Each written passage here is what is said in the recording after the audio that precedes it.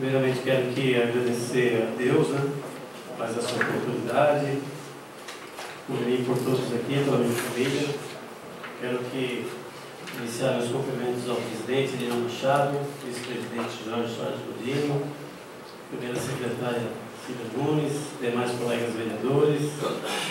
Também cumprimentar aqui toda a imprensa local, o Guti, Guto, Guto, é sério. Cumprimentar o meu amigo Ricardinho, obrigado pela presença. Cumprimentar também, em nome do Macir, todos os assessores da casa, o Zé Carlos aqui, ex-vereador, em nome dele cumprimento todos os ex-vereadores e todo o público presente. Muito boa noite. Também Marcelo, acho que já foi embora, né? Marcelo Moura estava aqui com a gente.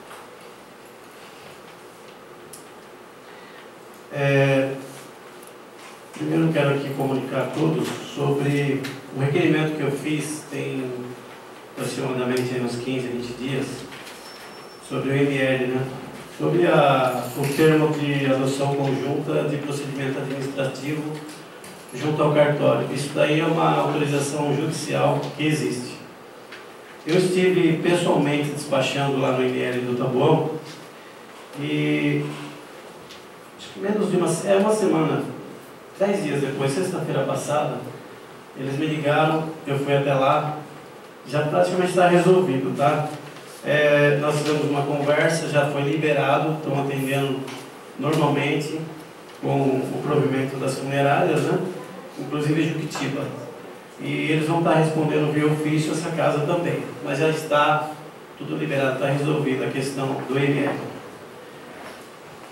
Também quero aqui é, meu colega Júlio explanou muito bem, Júlio, sobre o requerimento do fórum, né? Acho que não precisa não acrescentar mais aqui. A importância do fórum Jutiba. E agradecer aqui a subscrição dos, dos colegas vereadores também. Parabenizar também, Júlio, é, pelo que você apresentou aqui na tribuna, os projetos, né? Inclusive, parabenizar o Eduardo também. Eduardo, conheço a, esse projeto seu há um bom tempo já. E também, já aproveitando aqui o ensejo, conheci um jovem hoje aqui em Juquitiba, inclusive fiquei sabendo que está morando lá na minha casa. Ele é da Bahia, lá de Paratinga, Bahia. Tem 19 anos, está aqui com a gente, é o Jean Carlos. Inclusive o presidente também estava junto comigo, né, presidente? Menino que eu gostei muito de conversar, um jovem. É, só curioso, né, Jean? É, gostaria que depois de conversar mais, que um jovem da sua idade é, veio aqui para Juquitiba. Mas o que eu achei muito positivo que você colocou para mim, sobre inclusive, Júlio, esse projeto do Eduardo. Acho que os dois poderiam até trocar ideias a respeito disso.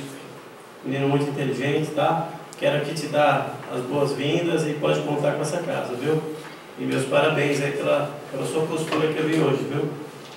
Veio de longe.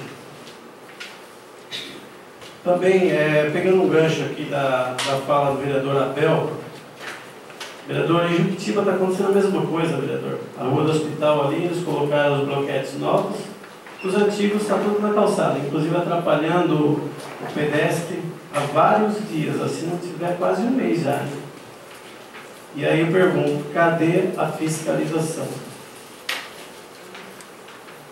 Obrigado, vereador. Então eu estive no Barnabés também, fui cobrado, viu, Abel? Barnabés também, sobre isso daí. Eu até ia te falar, e, mas aqui parabenizo pela, pela sua indicação. E nós estamos no centro de Juctiba, uma das principais ruas da cidade, viu, presidente? Colegas vereadores, acho que é um dever também do vereador estar fiscalizando, claro. Na verdade, o vereador fiscaliza o fiscal, inclusive, da prefeitura, né? Essa realidade, nós somos eleitos para isso. Então eu vejo que a Secretaria de Obras, ela infelizmente continua pecando e muito.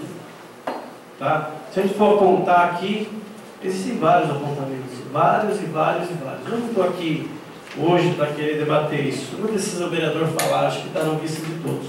Então eu peço aqui, é, espero que não não seja necessário fazer uma indicação também para que se coloque aqueles protestos de volta.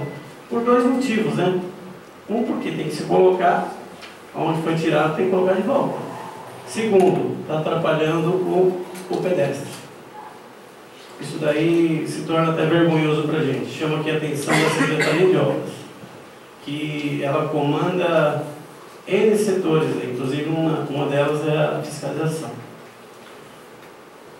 No mais aqui, agradeço a presença de todos e volte aos seus lares com Deus.